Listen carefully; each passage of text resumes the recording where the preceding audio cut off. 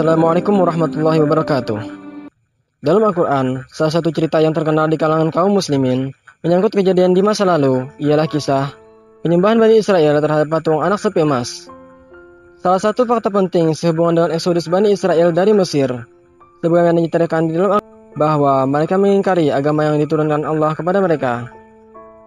Walaupun ia telah menyelamatkan mereka dari kekejaman Fir'aun melalui Musa alaihissalam, Bani Israel tidak mampu memahami ajaran tauhid yang disampaikan Musa kepada mereka dan masih cenderung kepada penyembahan berhala. Al-Quran menggambarkan kecenderungan yang aneh ini pada ayat berikut. Dan kami seberangkan Bani Israel ke seberang lautan itu. Maka, setelah mereka sampai pada suatu kaum yang tetap menyembah berhala mereka, Bani Israel berkata, Hai Musa, buatlah untuk kami sebuah Tuhan, sebagaimana mereka mempunyai beberapa Tuhan. Musa menjawab, Sesungguhnya kamu ini adalah kaum yang tidak mengetahui sifat-sifat Tuhan. Sesungguhnya mereka itu akan dihancurkan, kepercayaan yang dianutnya, dan akan batal apa yang selalu mereka kerjakan. Quran Surat Al-A'raf ayat 138-139 Walaupun telah diperingatkan oleh Musa, Bani Israel tetap dalam pentantangan mereka. Dan ketika Musa meninggalkan mereka, mendaki Gunung Sinai seorang diri, Pertentangan itu tampak sepenuhnya. Dengan memanfaatkan ketiadaan Musa, tampillah seorang bernama Samiri. Dia meniap-niap kecenderungan Bani Israel terhadap keberhalaan dan membujuk mereka untuk membuat patung seekor anak sapi dan menyembahnya. Kemudian Musa kembali kepada kaumnya dengan marah dan bersedih hati. Berkata Musa, Hai kaumku, bukankah Tuhanmu telah menjanjikan kepadamu suatu janji yang baik? Maka apakah telah selama masa yang berlalu itu bagimu? Atau kamu menghendaki agar kemurkaan dari Tuhanmu menimpamu, lalu kamu melanggar perjanjianmu dengan aku. Mereka berkata, kami sekali-kali tidak melanggar perjanjianmu dengan kemauan kami sendiri, tetapi kami disuruh membawa beban-beban dari perhiasan kaum itu. Maka kami telah melemparkannya, dan demikian pula Samiri melemparkannya.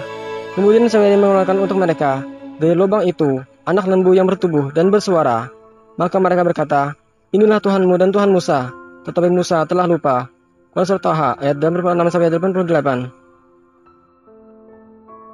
Lalu, mengapa ada kecenderungan yang gigih di kalangan Bani Israel untuk membangun berhala dan menyembahnya? Dari manakah kecenderungan ini bersumber? Sudah tentu, suatu masyarakat yang sebelumnya tidak pernah menyembah berhala, tidak akan secara tiba-tiba berkelakuan bodoh seperti membangun patung dan menyembahnya. Hanya mereka yang memiliki kecenderungan alami terhadap berhala yang akan mempercayai omong kosong semacam itu. Namun, Bani Israel dahulunya adalah kaum yang mengimani satu Tuhan, semenjak masa leluhur mereka Ibrahim alaihissalam. Nama Bani Israel atau anak-anak Israel pertama kali diberikan kepada putra-putra Yakub, cucu Ibrahim alaihissalam. Dan setelahnya, semua bangsa Yahudi merupakan keturunannya. Bani Israel telah menjaga iman tauhid yang mereka warisi dari leluhur mereka, Ibrahim, Ishak, dan Yakub alaihissalam. Bersama Yusuf alaihissalam, mereka pergi ke Mesir dan memelihara monetisme mereka dalam jangka waktu yang panjang.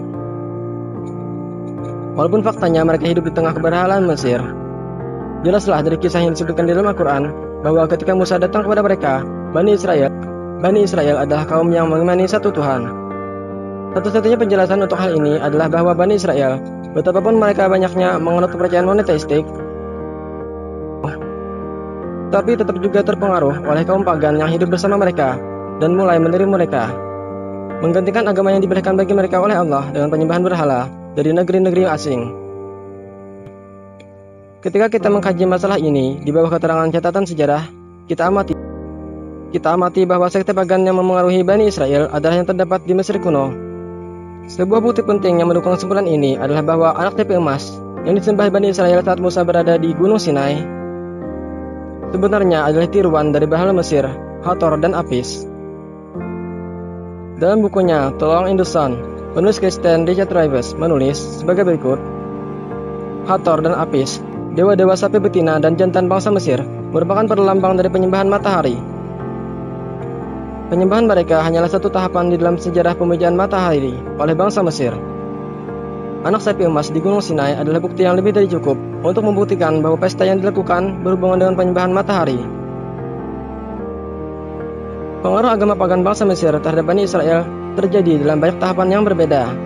Begitu mereka bertemu dengan kaum pagan, kecenderungan ke arah pajanan bid'ah ini muncul. Dan sebagaimana disebutkan dalam ayat, mereka berkata, Hai Musa, buatlah untuk kami sebuah Tuhan, sebagaimana mereka mempunyai beberapa Tuhan. Apa yang mereka ucapkan kepada Nabi mereka? Hai Musa, kami tidak akan beriman kepadamu sebelum kami melihat Allah dengan terang. Buat surat Al-Baqarah ayat 55. Menunjukkan bahwa mereka memiliki kecenderungan untuk menyembah benda nyata yang dapat mereka lihat. Sebagaimana yang terdapat pada agama pagan bangsa Mesir. Siapakah Apis? Apis merupakan salah satu nama dari mitologi bangsa Mesir. Nama ini menunjuk kepada seekor lembu jantan yang dianggap suci dalam mitologi masyarakat Mesir. Apis termasuk dalam jajaran nama-nama hewan yang penting pada waktu Mesir kuno. Lembu ini dilahirkan dari pancaran cahaya yang mengalir dari bulan. Kelahirannya merupakan suatu masa di mana orang-orang Mesir bersuka cita. Masa kematiannya terjadi setelah 25 tahun. Apis dikorbankan dan dibakar dalam suatu pertunjukan yang besar. Dalam masa itu, orang-orang Mesir akan bersedih dan akan mencukur kepalanya.